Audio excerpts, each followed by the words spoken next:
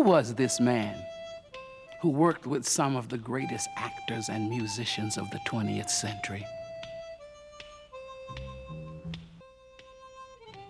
Who devoted his life to preserving music of unknown authors? Who helped win the Academy Award for the first black in a leading role? Who conducted more choirs than any man of his day? Who did more to spread his brand of uniquely American music worldwide than anyone in his century, whose power of presence and magnitude of personality won the hearts of people the world over. Amen. Amen. Amen. Amen. Amen. Nick Amen. Amen. Amen. Amen. Amen. A- amen, not amen. Amen. One of the most popular of all the black spirituals. Written by Dr. Jester Hairston. Jester Hairston, a national treasure. Let's go now. Good Lordy, eh? have mercy. Amen. See the baby. He's probably worked with more young people than any conductor living today. He has been as much an ambassador for goodwill as he's been an arranger and an actor, you know. First thing that I think of is his smile. He's been like a bridge of communication between various ethnic groups. As far as Jester is concerned, we're all children of God, and he treats people that way. Jester was so amazing that Hollywood recognized that he had this ability. When he took the podium, it was like we could feel it, and we could feel it to the depths of our soul. Wherever he goes, he's loved, you know. You are a living legend in your lifetime. Legends. Some people become legends by virtue of what they do, and others by being around a long time. Jester Hairston, well, there's a man who qualifies on both counts. We're not only celebrating a remarkable life, but we're spotlighting his dedication to a unique art form that marks Jester's legacy. And his song, Amen, has come to define that legend. Amen became his theme song, sung the world over. But the melody has its origins buried in history. It's part of the collection of songs, the roots of ragtime, blues, jazz, and gospel music, even America's first homegrown music, known as the spirituals. I'll bet you've heard songs like,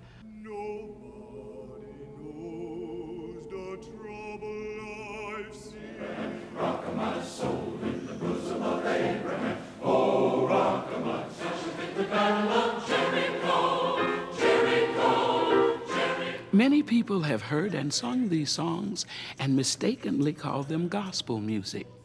Take it from someone who has sung gospel her whole life.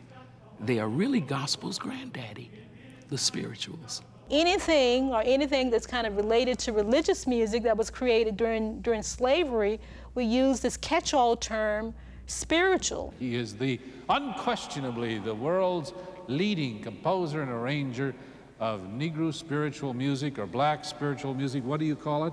Negro, colored, black, Afro-American folk songs. No one really knows where the spiritual came from or when the spiritual actually came into being. It's just like any other folk music. It's an anonymous music. That, to me, is the miracle of what spirituals are all about. Is how could an illiterate people, not ignorant, but illiterate, come up with such magnificent melodic material? Surely spirituals were very much a part of the African experience here in North America by the 19th century, because by that time, many more Africans had been introduced to Christianity. They said, look to God, you will be free someday. Not in this land, but somewhere. So that engendered a lot of imagination. Like uh, using prophets uh, in the material Joshua at the Battle of Jericho and go down Moses and uh, Daniel, Daniel, servant of the Lord. You see, these are all paraphrases of biblical material that they had heard preached by the circuit preacher or by somebody in the group who could read. So the spiritual is a universal form of music that I think anyone can identify with because it just deals with human issues where people really want something better.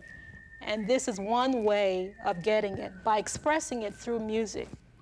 In many ways, the spirituals echo the life of Jester Hairston.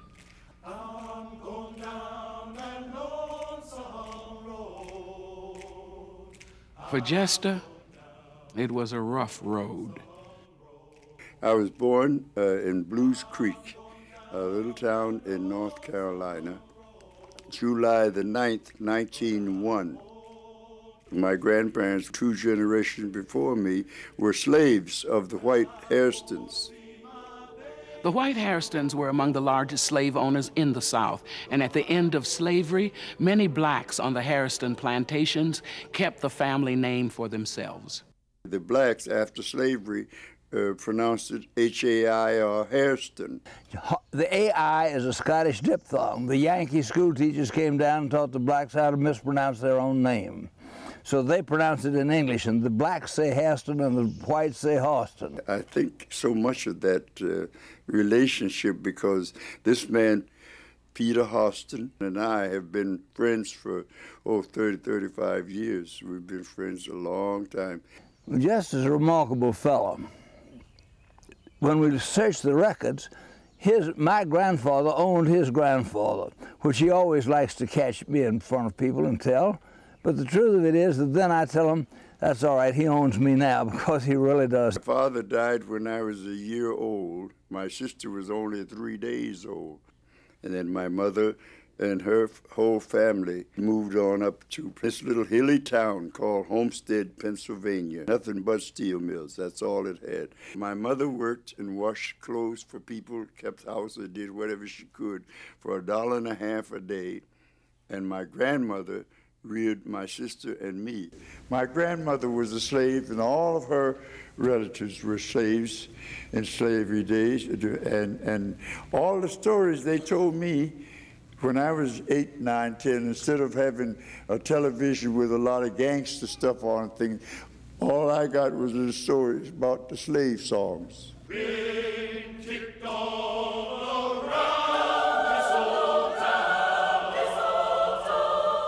I had such a rough life. I started to work when I was 10, and uh, we made bricks to uh, build the furnaces in the steel works, steel mills. As a youth, Jester loved sports and was a guard on his college basketball team and a quarterback on his high school team at only 130 pounds. So I call, call signals and get the heck out of the road. That's all I did. Upon graduation, Jester wanted to attend the University of Pittsburgh to study landscape architecture until he discovered they would not permit blacks on the football team.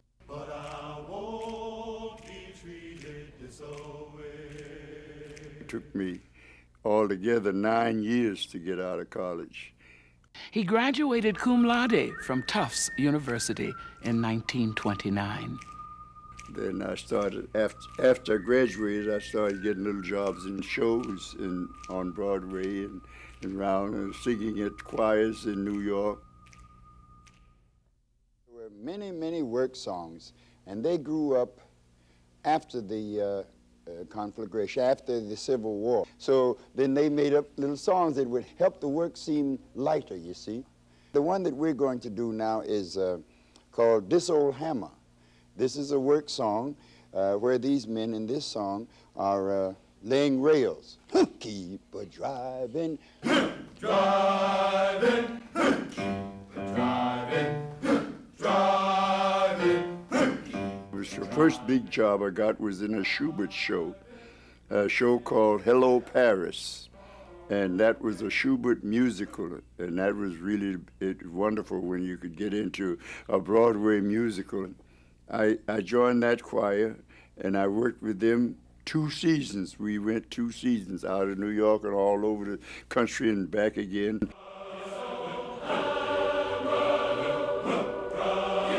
Hard work was no stranger to Jester, but this was the beginning of the Great Depression, and work, especially for a black in the performance arts, was scarce. About this time, Jester became acquainted with an exceptional musician, the leader of a prominent Harlem all black choir, Hall Johnson.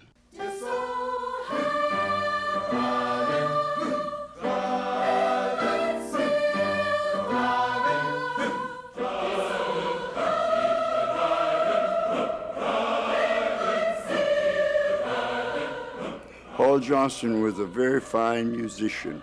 And so he went right on in after he came up to New York into arranging these Negro spirituals. And he got his reputation on that. And he got a choir together and they, they started singing them seriously, you know and I auditioned for him. He took me in there as a singer. But Jester had to undo some of his formal New England music training. He told me too, he said, You got to go, Ashton. We, we can't stand that. he said, We say can't and ain't. You say shan't and can't. And that's right, that's right to go. And Hall Johnson was the cause of my quitting all that New England stuff. In spirituals, he said, In spirituals, you can't say that. During that time, Hall Johnson was asked to be the musical director for a new Broadway play called The Green Pastures by Marc Connelly. The Hall Johnson Choir sang 24 of Johnson's compositions and arrangements of spirituals and were actors in this Pulitzer Prize winning musical. Along with Broadway musicals, radio programs were very popular and music played an integral part. While one choir toured with Green Pastures, Jester formed and directed another choir to sing on the radio. We did the music to uh, uh, the Green Pastures on Broadway, and then Warner Brothers bought the play for a movie, and we they moved us out to uh, Hollywood to do the music. As assistant conductor, the rail was laid. Jester left New York in December of 1935 on a train bound for that golden hammer, the promised land, Hollywood.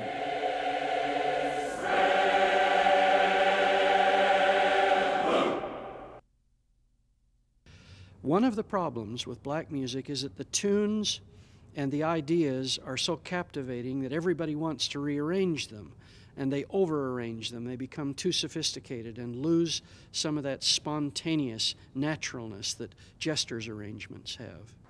If you know the scores that Hall Johnson have written, they are multi-parted. You've got eight, ten, twelve parts. These pieces actually limit performance because how many choirs are you going to have those kinds of resources? And I think one of the things that made Jester so popular is that he began to write more reasonably. The piece that probably uh, reached more people or more choral directors and choirs early on was his arrangement of Elijah Rock. Jester recounts how he and Hall Johnson found Elijah Rock in 1932 by convincing a very old but stubborn former slave into singing old spirituals no one had ever heard of. They said, if you ignore him, he might sing for you. So I didn't even pay him any mind. I led everybody, all of his family, in, in songs. East side, west side, all around the town. When you wore a tulip, a sweet yellow tulip, everything but a spiritual. And after a while, he felt let out. And so he hunched me in the ribs. He said, you boys know this song? And I said, what is it, sir? And he says, Elijah Rock, shout, shout, Elijah Rock. And as he started, I turned to him this way, and Hall Johnson had manuscript paper there writing in the back. and, and so I led the interference while Hall was writing, and, and I wrote this arrangement based on what this old man was saying.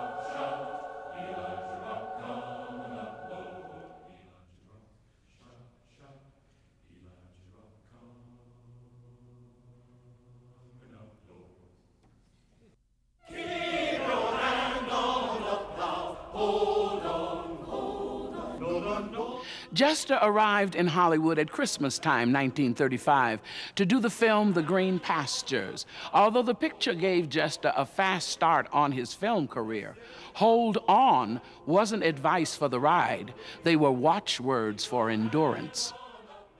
Hold on.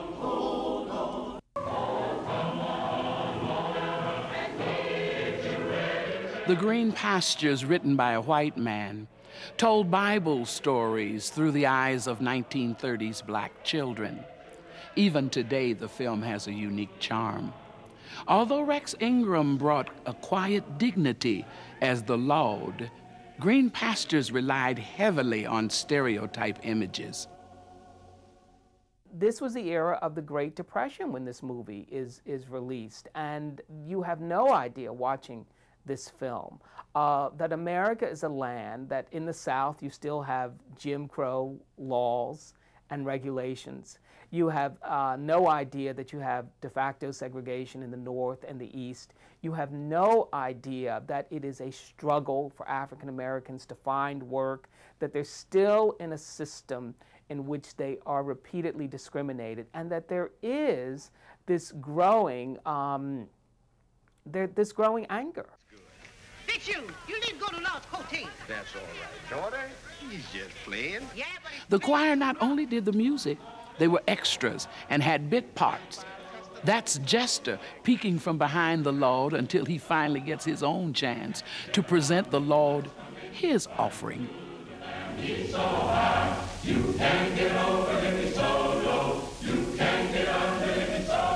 No, thank you. I'm going to save this a bit.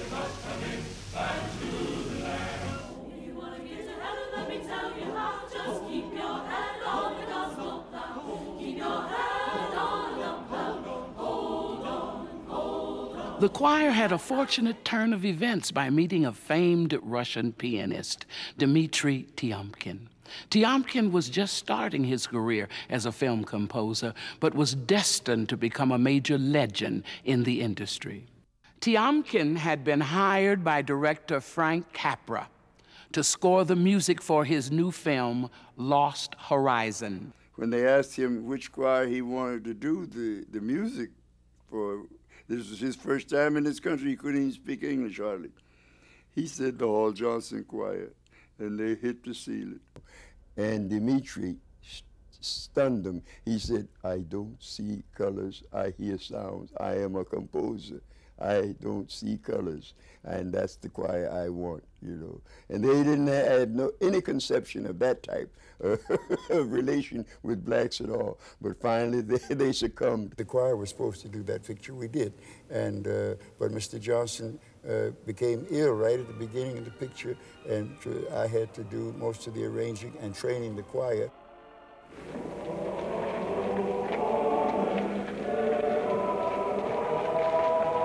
Welcome to Shangri-La. Nominated for six Academy Oscars in the 1937 awards, including Best Picture and Best Music Score, Lost Horizon won for art direction and editing. When the picture was over, he was so pleased with it. He said, Jester, if I have another picture in Hollywood, you will be my uh, choral director and arranger. Over the next 20 years, Jester did the choral backgrounds for numerous Tiomkin films, including Duel in the Sun, It's a Wonderful Life, Home of the Brave, Red River, Land of the Pharaohs, Friendly Persuasion, Rio Bravo, and the eerie portrait of Jennie.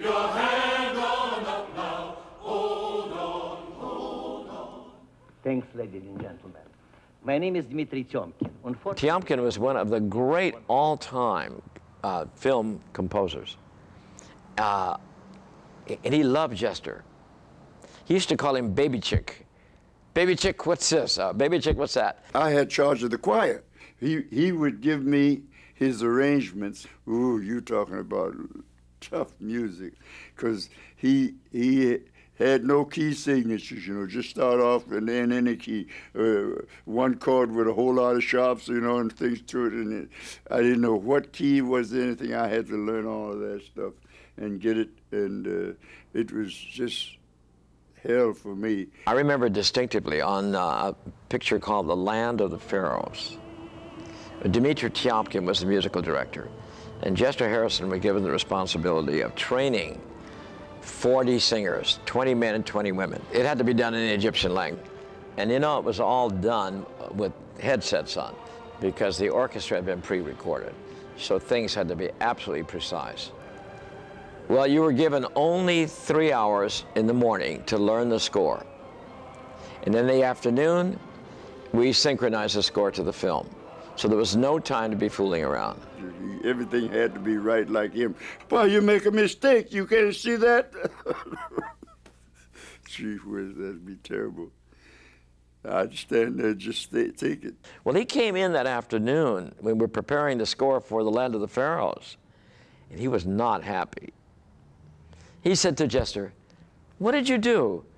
Did you hire a lot of, uh, of uh, janitors and farmers and gardeners? That's what he said. On the sands of the desert, you will raise a pyramid, a structure greater than any other in the world. I remember one scene, these big stones that would close the opening to the sepulcher were held in place until the soldiers on the outside took large mallets and broke clay pots that would make these huge rocks slide into place.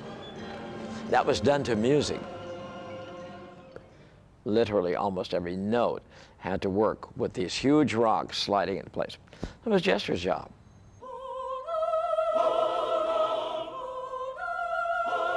And up until this day, you will never see my name on any picture of Dmitri Tiomkin because I'm black. That's all. And I did it for just whatever he'd give me, with no hard feelings.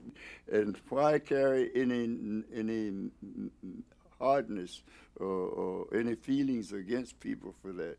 That was what we had to do in this country to get by.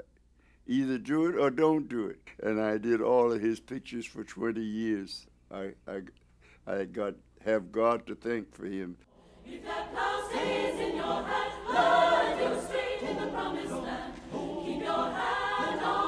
For a while, Hollywood felt like a promised land. Jester and the Hall Johnson Choir made a number of short subject pictures. These short films usually had as their base the choir singing spiritual arrangements, and the singers often had roles on screen. Where's that?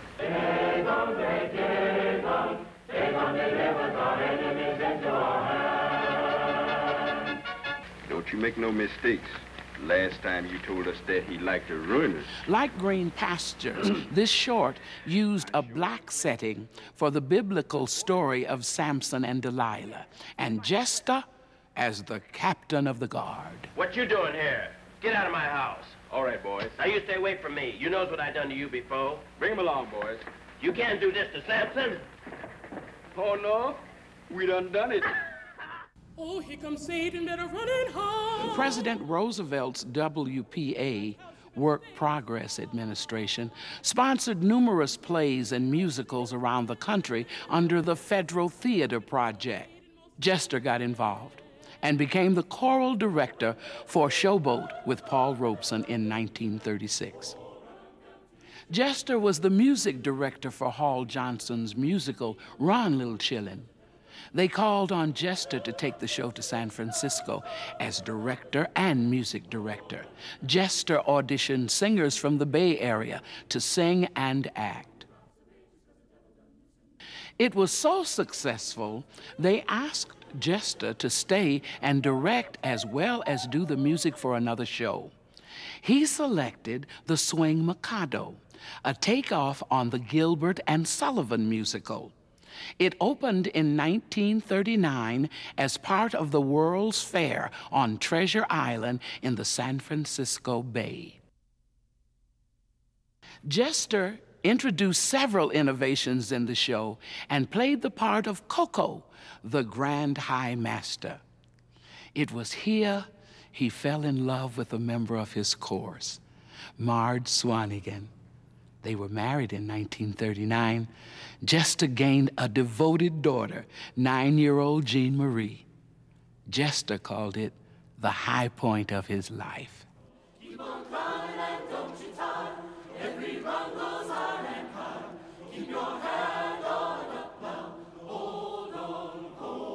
As creative work again got slow, Jester felt compelled to work as a waiter in an LA hotel.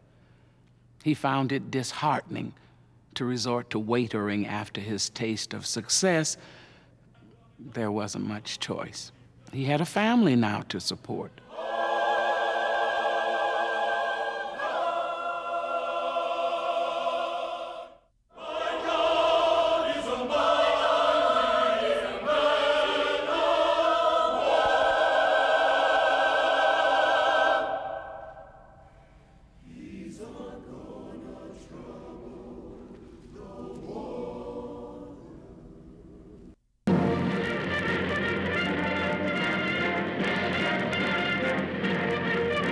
As World War II began, Hollywood did its part to support the war effort. Frank Capra produced a series of documentary films for the Army called the Why We Fight series. Dmitri Tiomkin did the music for these pictures, and Jester's talent was called upon again. In The Negro Soldier, Jester arranged the choral score, prepared the choir, and conducted the choral numbers found throughout the film.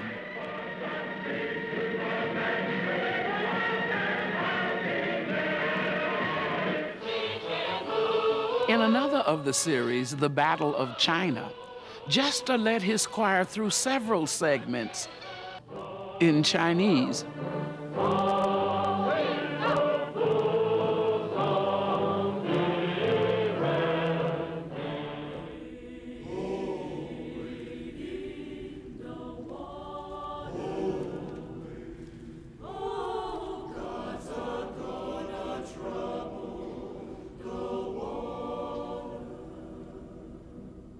By 1943, Hall Johnson and most members of the choir returned to New York where the waters were perhaps less troubled. But Jester stayed in LA, where he served in the USO and formed the first integrated choir in Hollywood, the Jester Hairston Choir. He informed the studios his singers were capable of doing any music from Bach to Basie. But I always had a mixed choir. I never had a black choir. I always had a mixed choir and, and mixed it with the best singers I could get who could read mostly. In a period of just six years, from 1943 to 1949, Jester's choir did the background music in 40 films. While continuing to work with Tiomkin, other composers also sought after Jester's abilities.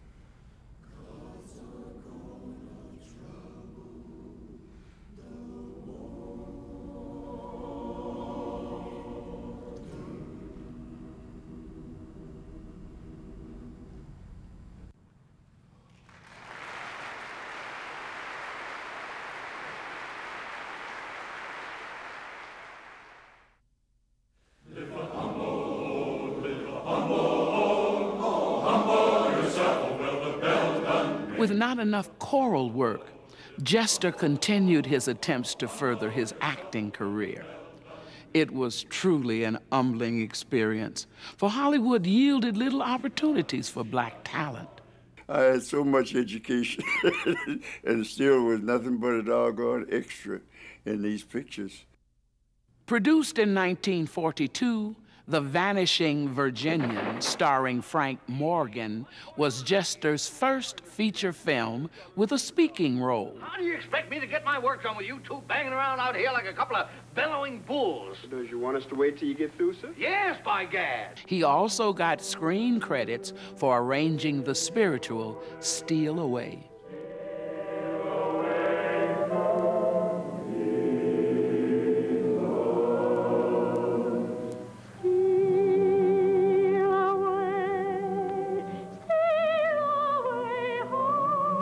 Preston Sturges film, Sullivan's Travels, Jester plays a bit part as Charlie, the preacher's assistant. Down easy, Charlie. Charlie's a little anxious.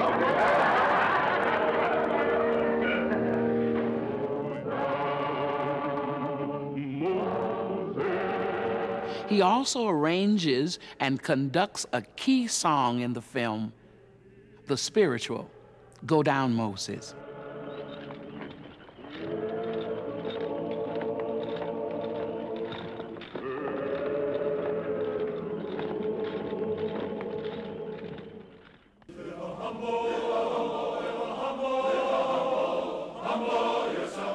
In 1943, Jester's big break came with a chance to play characters in the longest running, most popular, and successful radio program ever produced.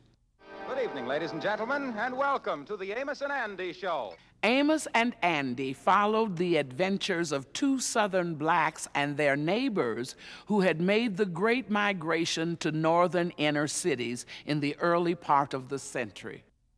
The remarkable part is that all the characters were created and performed by two white men, Charles Correll and Freeman Gosden. They had come up through the performing ranks in the minstrel and vaudeville shows. The roots of Amos and Andy can really be traced back to the minstrel show, which becomes popular during the 19th century. Minstrel shows start as early as the 1840s.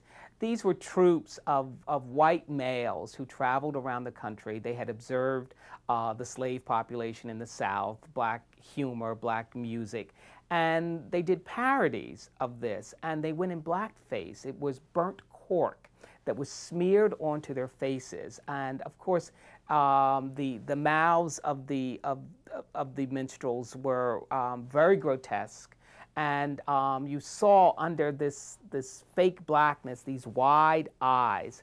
And it, it was a very caricatured portrait of African Americans based on something they assumed was real but distorted. Gosden and Correll, as Amos and Andy, performed in verbal blackface, a continuation of the minstrel tradition. Labor's got a funny way of treating a man. Don't seem like there's no justice.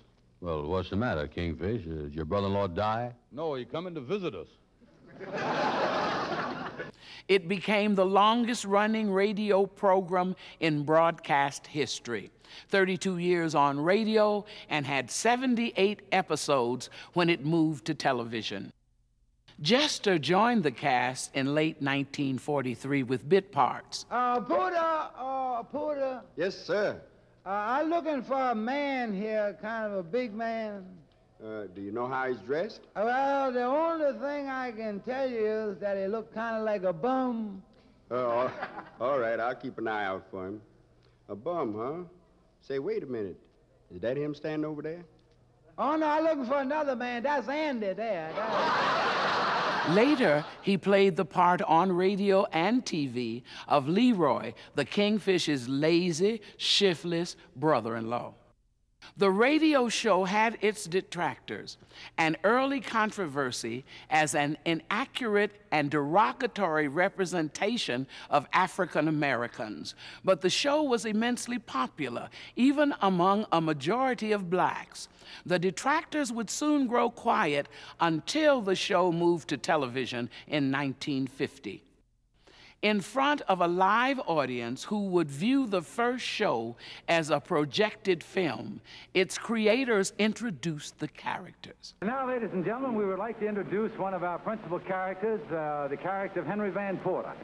We looked all over the country for this character, even looked back in Virginia, had tests made in every state in the Union almost, and we found him right under our nose here in California. His name is Jester Hairston as Henry Van Porter.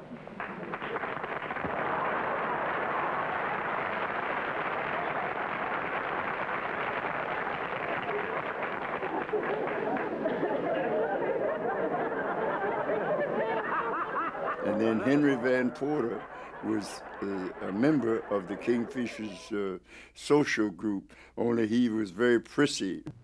Even with an immensely talented all black cast, it was only a black show on the outside. There were no black producers or writers or directors. It was a caricature beloved by millions. It was derided and resented by enough vocal people. So volatile was the reaction that CBS, who bought the rights from Gosden and Correll, locked it away in 1966 and refuses to allow showing even short excerpts.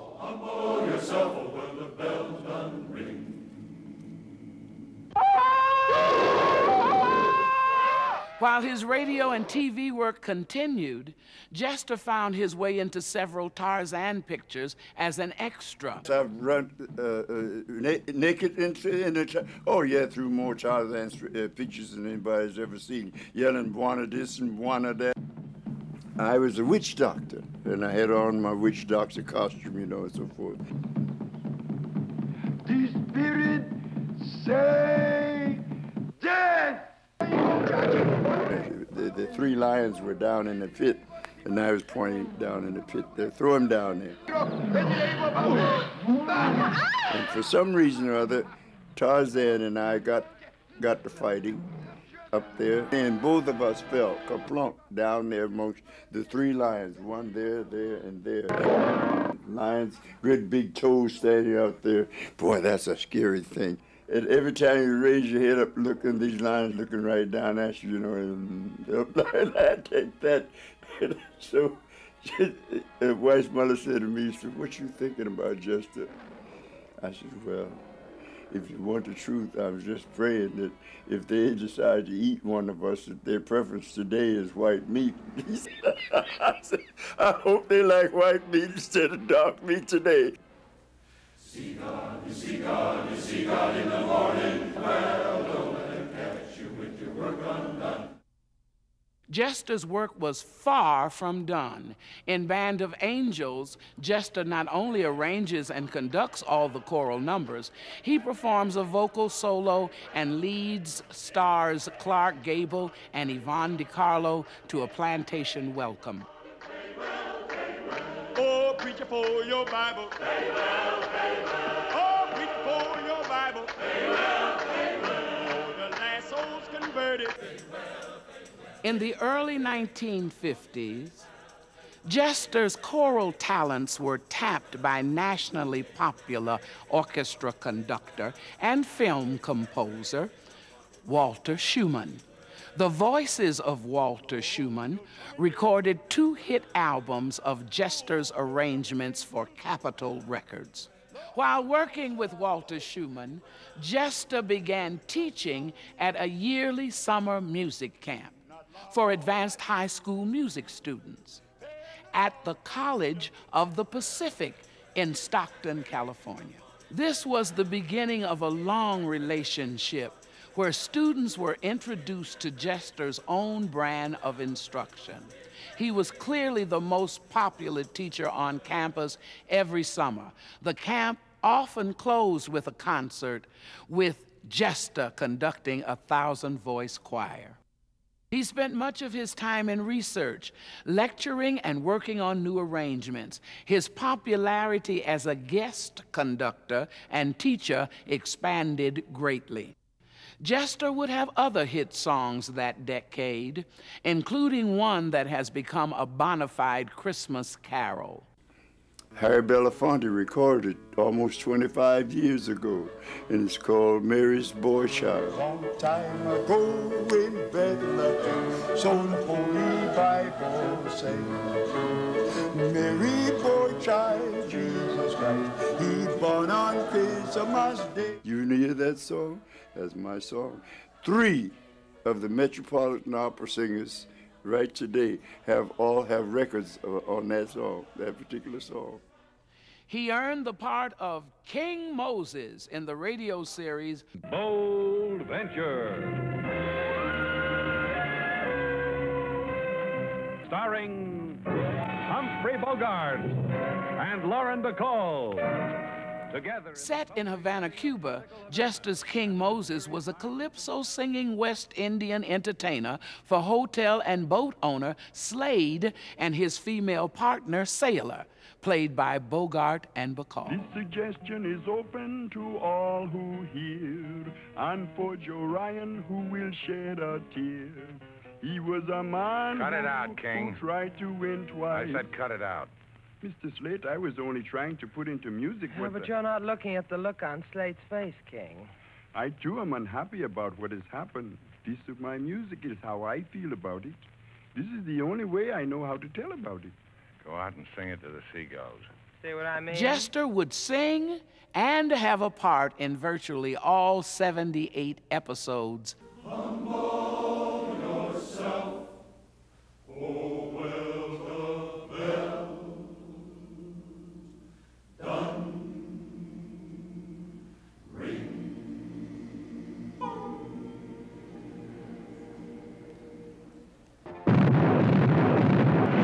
It was more than just a bell that rung and got Jester on the fast track at the start of the 60s.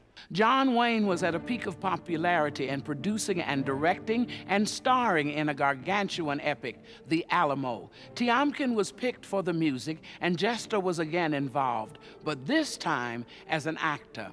He was the only black man in the cast of thousands. He was Jethro, a slave to Jim Bowie, played by Richard Widmark. Uh, Colonel Bowie, you say I'm a free man? That's right. Well, if I'm free, then I got a right to decide what I'm going to do. Seems to me that's what you men are fighting for. So I reckon I'll, I'll stay.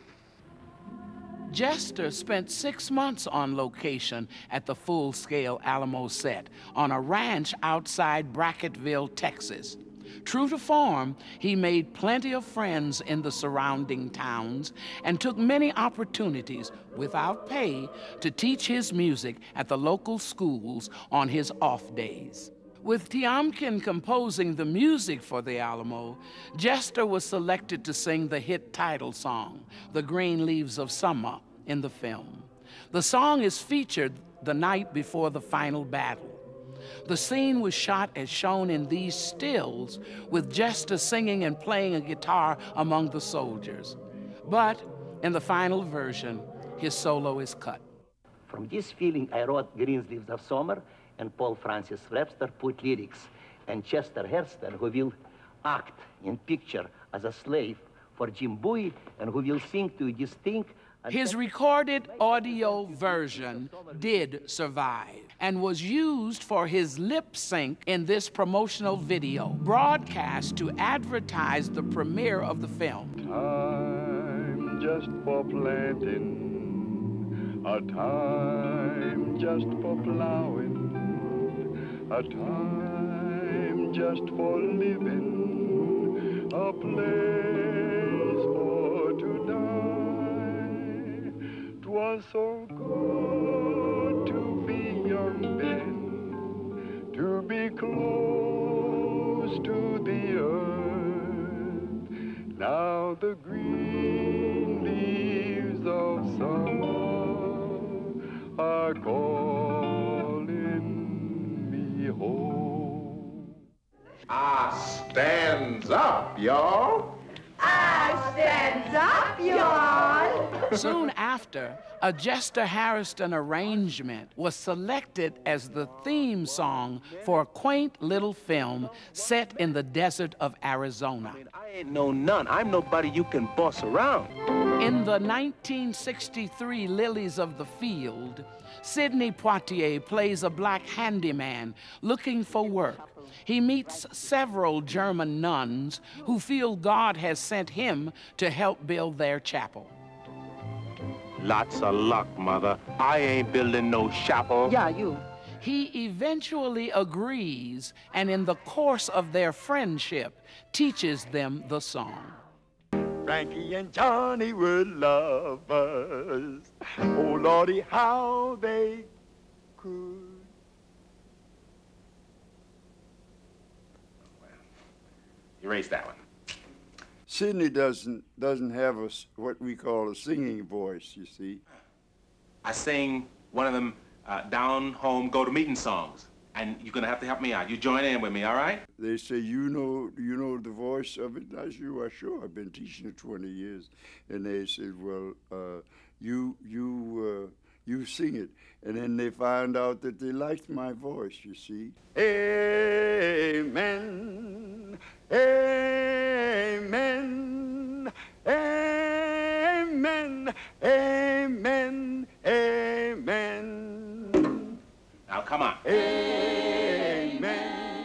Sidney was very, very good at that. And that's that's what we did because he sat across the table from me and watched my lips see the baby, eh. and we do do that. Ooh. And and but he had rhythm too, and didn't miss a note. Didn't miss a note of it. He was wonderful. See him in the temple. Sidney won the Best Actor Oscar for his performance, the first African American to win in a leading role category. Amen becomes Jester's theme song and his most requested number.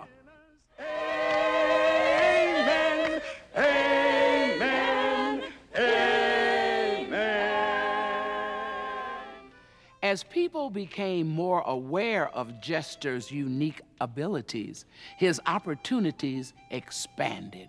Starting in 1961 and continuing through the decade, Jester was called to be a U.S. Goodwill ambassador to teach the art of singing spirituals and folk songs in many countries, particularly Europe and Africa. I can tell the world, amen. I can tell the world, yeah. I can tell the world about this, about this. I can tell the world. They sent me all, all over the world teaching people in those countries how to sing uh, black folk songs, the, the songs of my ancestors in, in every country. All over Africa, made four trips to Africa and uh, Yugoslavia. You should have seen me teaching the Yugoslavs how to sing Rock of My Soul in the Bosom of Abraham.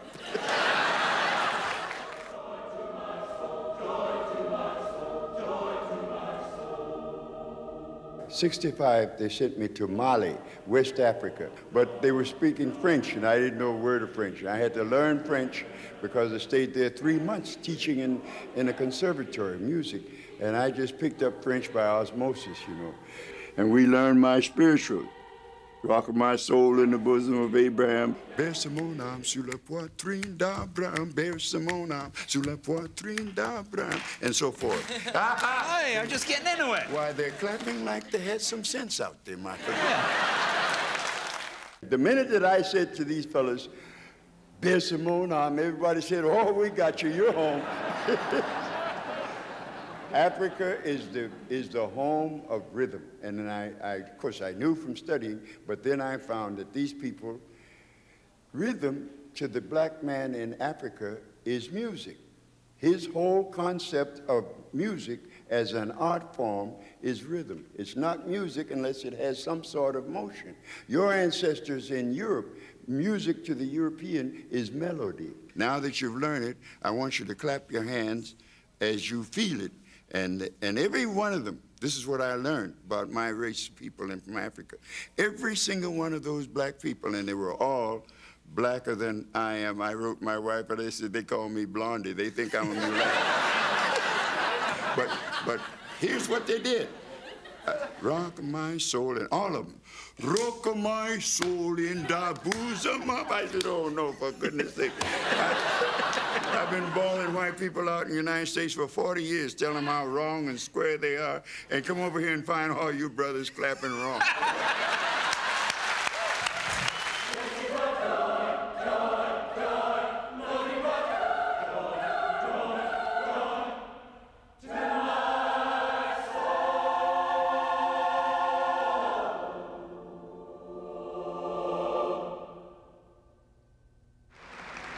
Isn't a high school choir in the United States of America that hasn't sung one of the compositions or the arrangements of Jester Hairston. Jester has had a great influence on bringing the spiritual into the public schools.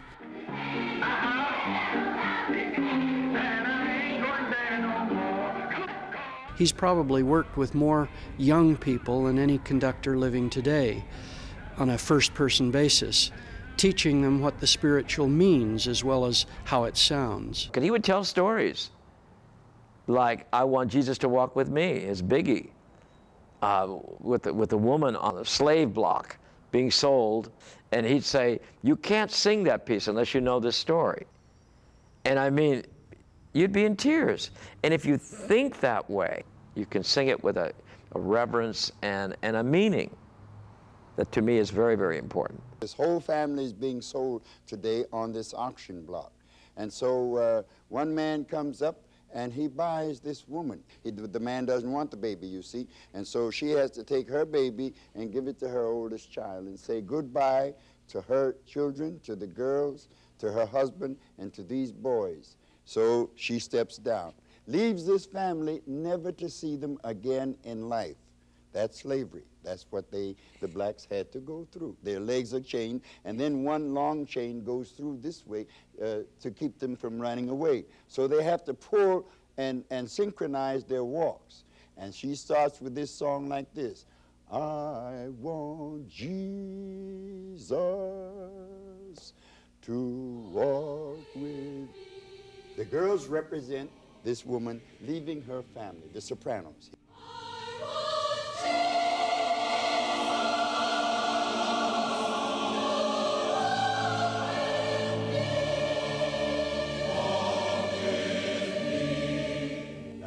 Theme. That's our theme. She wants Jesus. This is a new religion to her because in Africa we had our own religions. But now we're over here and we're forced to forget all the religions that we have, have had all of our lives and forget our culture and take the, the culture of the white man. And his God is white, and so now she's worshiping Jesus and putting on all her dependence. And she's out of sight now of the family, and she's emotionally wrought up, and then she's tired. She's walking. The man, he wants to get to the boat on time, so he hits these, these men and her. Says, get along there, get along there. We've got to get that boat on time. And, and she's walking. And then she says, Lord, as he hits her with the whip, Lord, I want Jesus.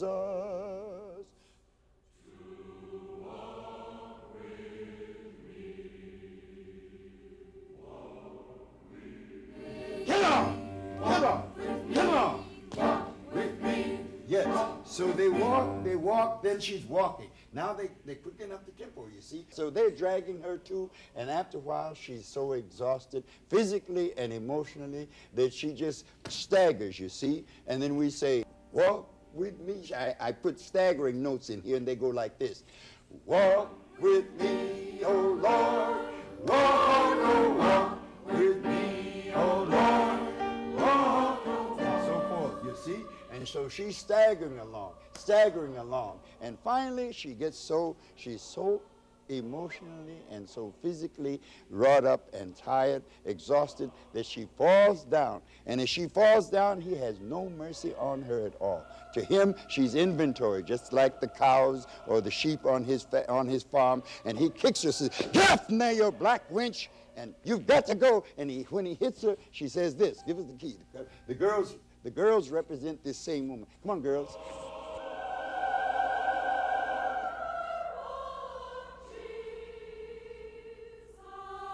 pleading, pleading to this white God to come and help her down on the ground, and this man kicking her like that.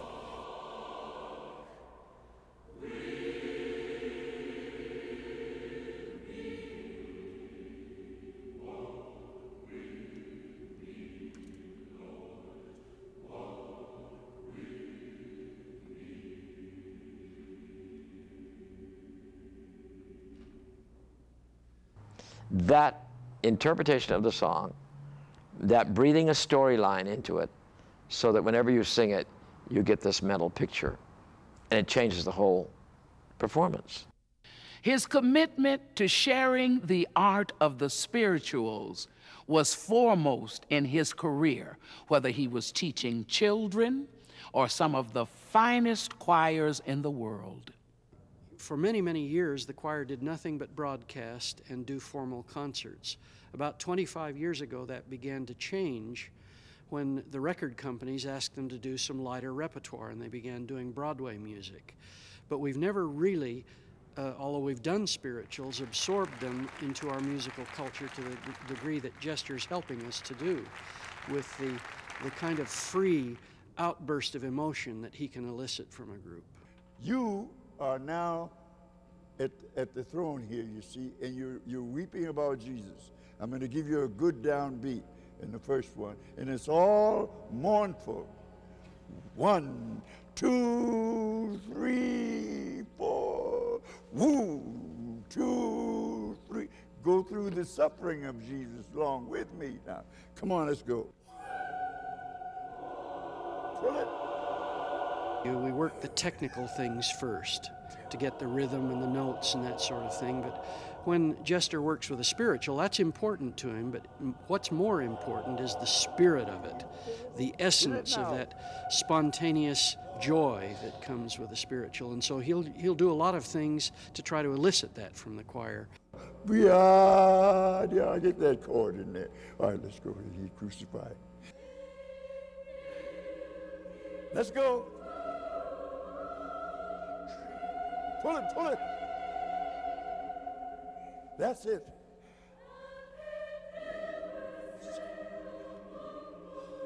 Hit it. Come on. Hit not a word.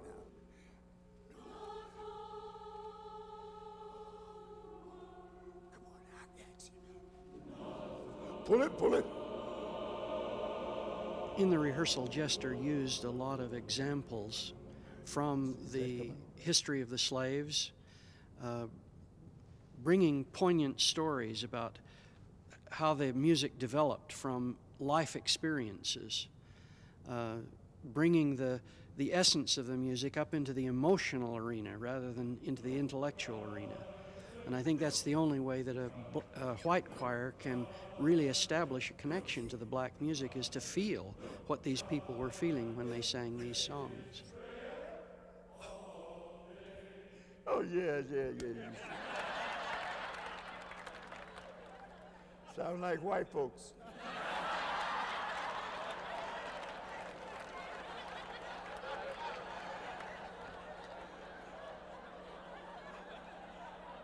if you had had to, if you had to lay it like we did so many days, you'd sing it right. Ladies, ladies, rail all come on, let's do it.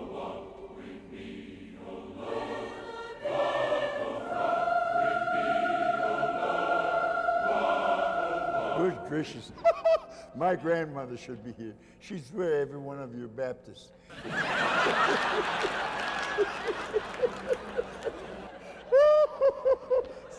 Goodness, you sound so Baptist in there. My gracious.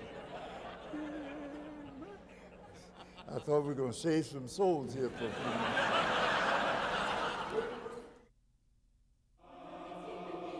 I say it's all over me and it's keeping me alive.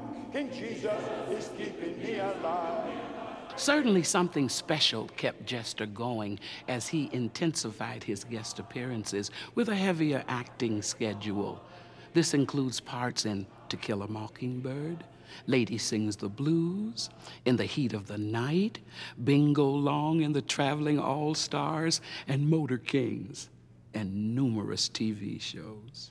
He was a series regular on That's My Mama. Why can't you cheat? Cheating? Why, that's an insult, and I ought to ask you to step outside. Oh, yeah? Then I could cheat and you wouldn't notice. Oh, you carry the big theme of this song. You stress. In Finian's Rainbow, starring Fred Astaire, Jester was in his element as part of the gospel quartet with Roy Glenn, Keenan Wynn, and Avon Long. I got it. We got it. He said, Give me my cane. He said, Give me my hat. The time has come to begin the began. The began, the began. While 88 years old, Jester was asked to join the cast of a new sitcom called Amen. He became the oldest continuously working actor ever in Hollywood. As the Deacon Rolly Forbes, he brought a special curmudgeon feistiness that was a far cry from the real jester. Ladies and gentlemen, Rolly and the Rappers. Up that goose and wrap a present for me. So I say it to you, uh, whether far or near, have a very Merry Christmas and a Happy New Year. The show ran for five seasons. All the while, Jester kept up a full schedule of choral rehearsals, guests conducting on many weekends, numerous TV commercials, TV guest appearances, and continued travels. He was awarded five honorary degrees. He even got his star on Hollywood's Walk of Fame. His traveling schedule would have exhausted any man.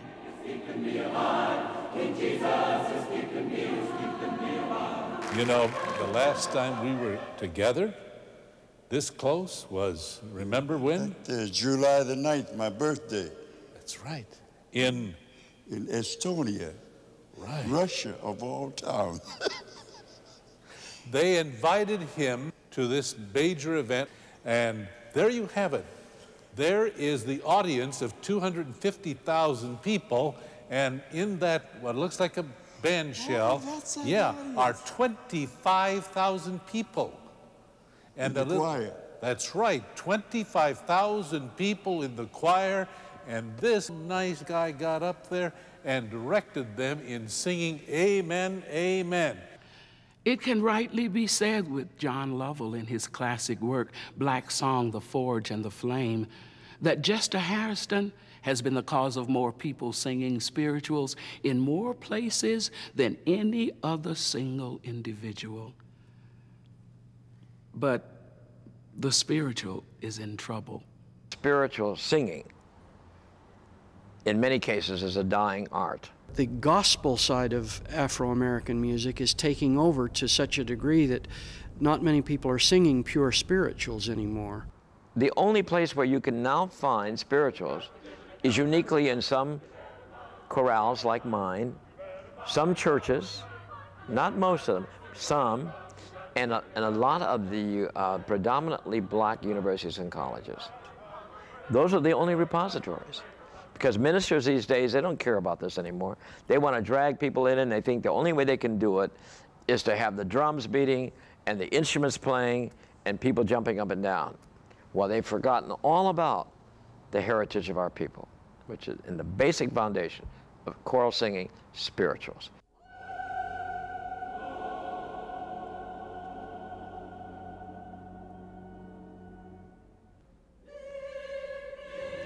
I always include a Jester Hairston in my programming, always. And Jester lived for one reason, if not for any other, and that is to keep the spiritual and other secular pieces of the, of the era before the singing public. I just hope that conductors and choral people in schools and universities will look at that repertory and never let it die.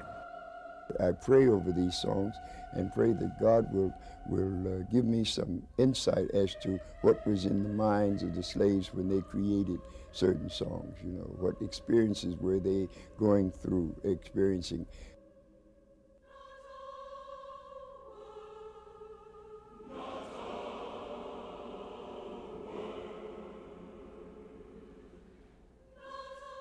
The more I've gotten into these spirituals, uh, there's so much a part of me that, that I have prayed for the opportunity of, of taking them as far as I can around the world, as long as God let me live.